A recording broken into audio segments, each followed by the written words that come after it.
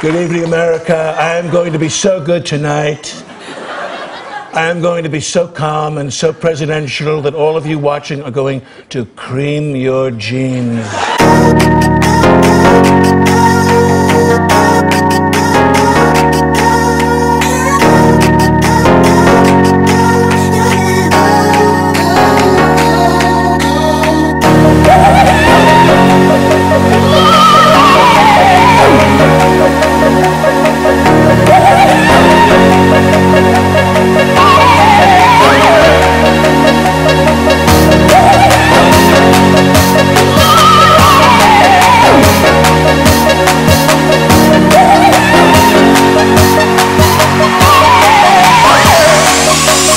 She broke it with Obama. She and Obama stole my microphone. They took it to Kenya.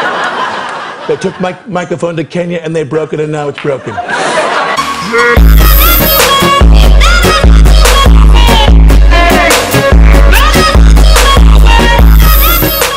I won the debate. I stayed calm, just like I promised, and it is over.